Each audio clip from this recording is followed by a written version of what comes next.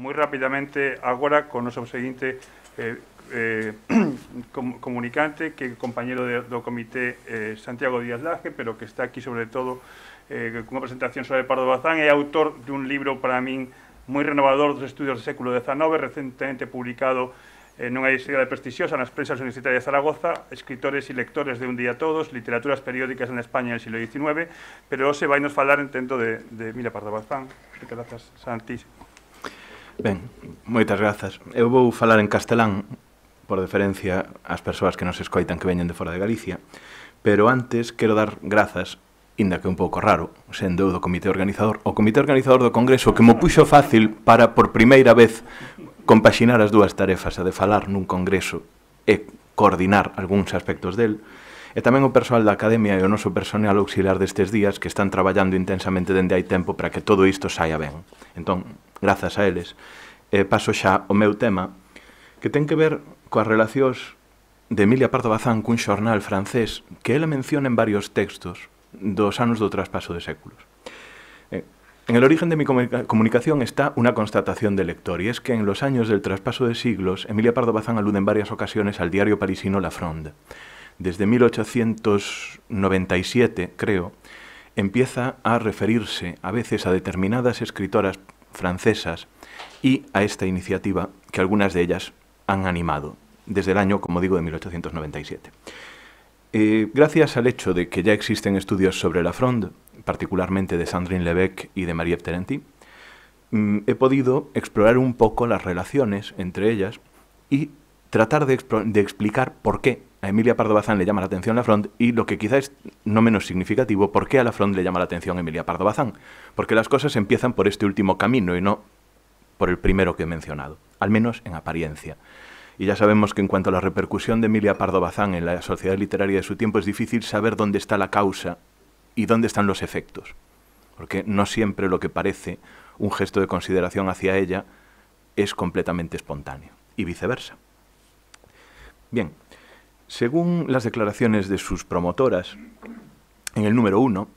La Fronde, journal quotidien politique littéraire, est dirigé, administré, rédigé, composé par des femmes.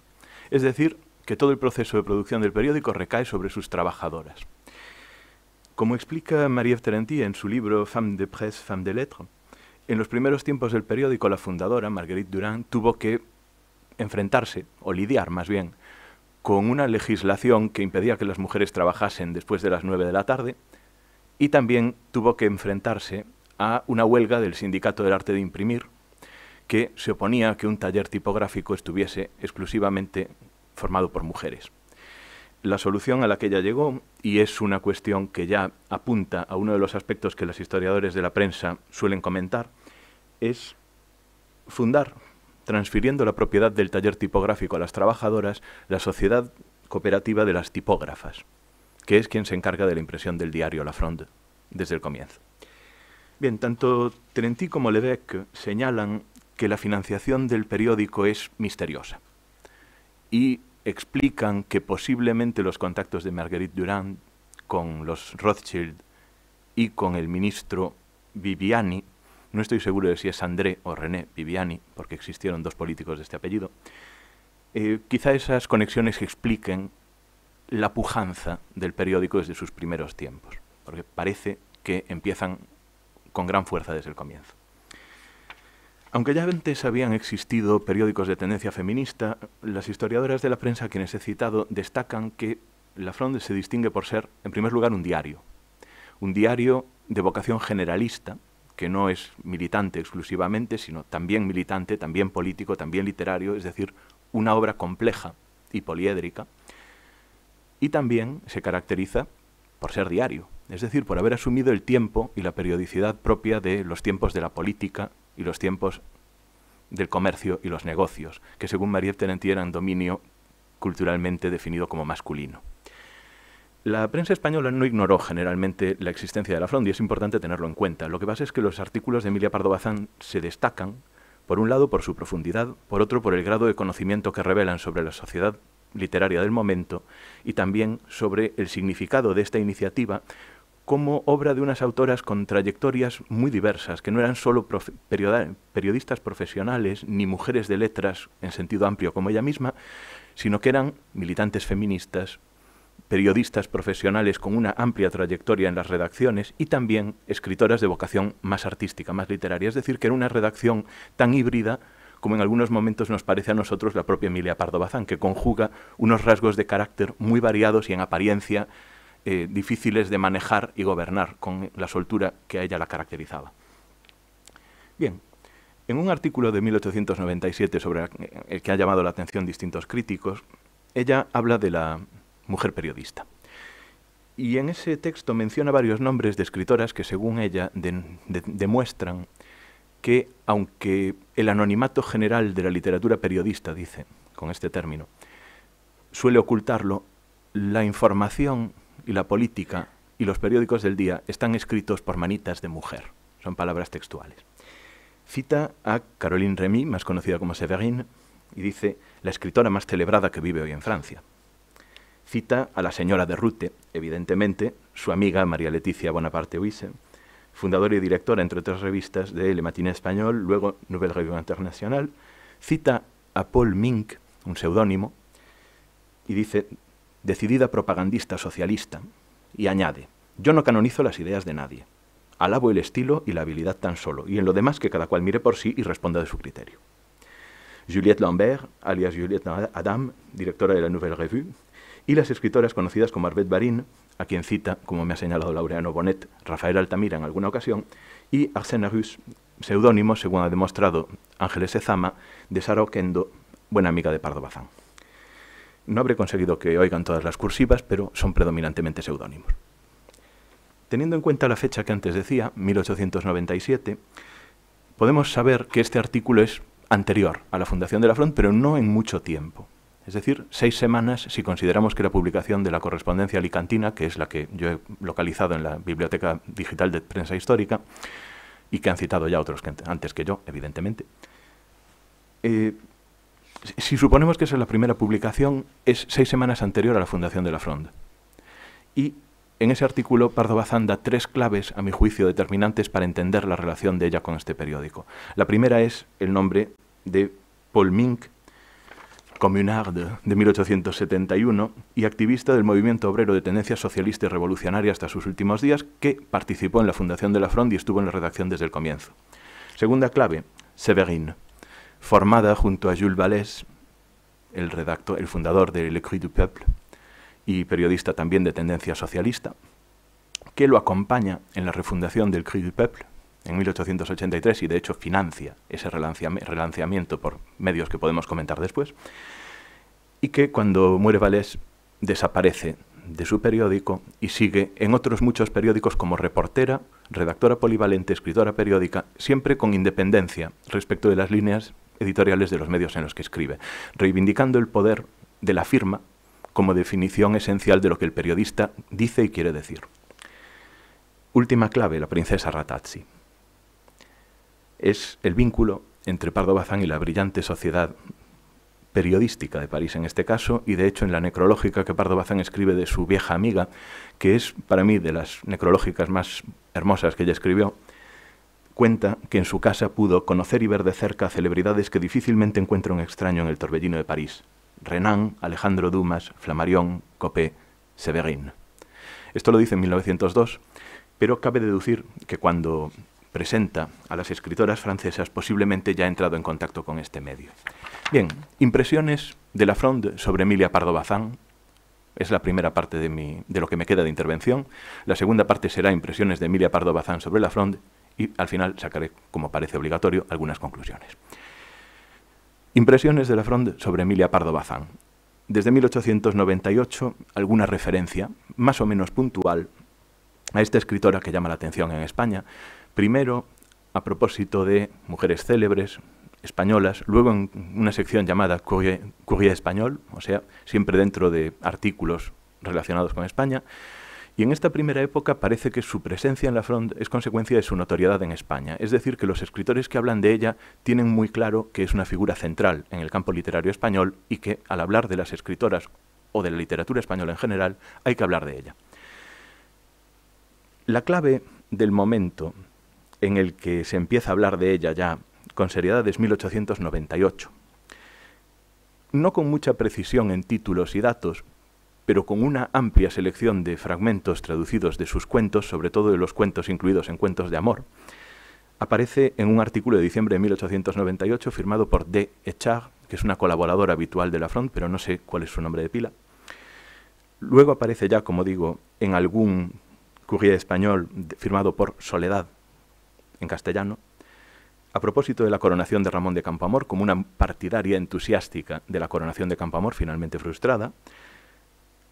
Aparece después como española célebre, aparece en abril, y esta es una de las claves, como escritora que pronto va a visitar París en 1899, en abril, con el objeto de dar una conferencia en la Sociedad de Conferencias de la, de la calle Chagas. En este momento, la notoriedad de ella es ya importante. Aparece un breve telegráfico enviado desde Madrid en el que se anuncia que va, ya está viajando a, Madrid, a París y de hecho el día después de su llegada, aparece un artículo, Emilia Pardo Bazán, en París, escrito por María Luisa Nerón, a quien ella cita después en la ilustración artística. Y en esa entrevista aparece uno de estos fenómenos un poco especulares de la notoriedad de Emilia Pardo Bazán, que es que las periodistas de la Fronde dicen que la primera visita de Emilia Pardo Bazán en París ha sido para la Fronde, y Emilia Pardo Bazán dice que las periodistas de la Fronde han ido a esperarla a la estación de Orleans, con el objeto de ser las primeras en recibirla. Y ahí, como señalarán distintos periodistas, y esta mañana comentaba Marisa, Marisa Sotelo, se da uno de estos juegos de doble percepción que comentaba Rubén Darío, en que no es fácil saber cuál de las dos partes tiene razón. Y efectivamente la prensa española, cuando Emilia Pardo Bazán empieza a aparecer tanto en la fronte en este mes de abril del 99, la prensa española comenta que no es verdad que haya tenido tanto éxito, no es verdad que el banquete haya estado tan concurrido, no es verdad que esto, no es verdad que lo otro. La propia Emilia Pardo Bazán, a propósito de esta entrevista en La Fronde, parece haber enviado alguna información al liberal que a los pocos días de la publicación de la entrevista aclara que la entrevista está llena de imprecisiones y que la autora está un poco fastidiada porque la entrevista no, es, no hace justicia a lo que ya ha dicho o explicado. Bien, voy encarrilando el camino hacia el final. De los aspectos que destaca Emilia Pardo Bazán sobre sí misma, uno de los más llamativos es el que tiene que ver con su carácter. Citaré solo un par de, un par de extractos. El que tiene que ver con su carácter, que es, según ella, una mezcla de misticismo y liberalismo, y eso explica su afinidad con Feijó. Otro aspecto que me parece interesante son sus declaraciones en esta entrevista, que no me parece contaminadas esas declaraciones por la periodista, sobre sus cuentos y la forma de tratar el amor en los cuentos. Dice, mis, mis enamorados se quieren, se lo dicen, se lo demuestran. Y aunque dicen que lo describo muy crudamente, yo siempre me he mantenido dentro de una cierta discreción y una cierta, un cierto decoro, vamos a decir. Bien. En esa entrevista se caracteriza a Emilia Pardo Bazán como feminista, feminista interesada en el progreso de las mujeres, en su educación, en su avance cultural, pero se destaca que es una feminista independiente sin pertenencia a ninguna sociedad de tipo feminista. Y una de las cosas que se destacan es su paso por el Ateneo en la Cátedra de Literaturas Contemporáneas, pero también le preguntan por la academia y ella responde muy abruptamente, al parecer, que nunca ha presentado su candidatura a la academia. Es decir, que vemos que el juego de declaraciones está bastante relacionado con la imagen que en Francia y en España pueden tener sobre ella. Vamos yendo hacia el final de este apartado y también de mi intervención con una noticia que no es muy destacada, aparte de un banquete a Emilia Pardo Bazán, en honor de Emilia Pardo Bazán, la Front promoverá más adelante la publicación de una traducción de El saludo de las brujas, que no se publica como L'Oracle des Sorcières, como había sido en la, pequeña revista internacional en 1897, sino como Tu es decir, el, el vaticinio de las brujas a, Macbeth, serás rey. Es la misma traducción hasta donde he podido verlo, pero es interesante constatar que en 1902 se publica en el folletín de la Fronde. Pardo Bazán sobre la Fronde. Un artículo de 1899 en el que ella explica su visita a París, su paso por la Sociedad de Conferencias, su relación con este periódico y sus impresiones sobre sus promotoras. Hay una cierta incomodidad, a mi juicio, en los comentarios de Pardo Bazán sobre las escritoras, porque aunque destaca que es un periódico de combate, un periódico de carácter feminista, militante, también destaca que la oficina y la redacción son claramente femeninas. Y este es un aspecto en el que Emilia Pardo Bazán tiene una singular perspicacia, porque una de las cosas que destacan las historiadoras de la prensa es precisamente que las periodistas de la Fronde se caracterizaron por reivindicarse a través de fotografías de la redacción y de ellas mismas como mujeres con un toque de coquetería, mujeres de su tiempo, mujeres modernas y mujeres con una cierta querencia por la elegancia y el buen gusto. Cosa que posiblemente explica también una cierta afinidad con Emilia Pardo Bazán. Otra característica, y ya llego a las conclusiones, es que Emilia Pardo Bazán siente una cierta incomodidad, como avanzaba antes, ante la dimensión más profesional, diría yo, de estas escritoras, la que las hace específicamente periodistas y no mujeres de letras en el sentido amplio que ella reivindica para sí.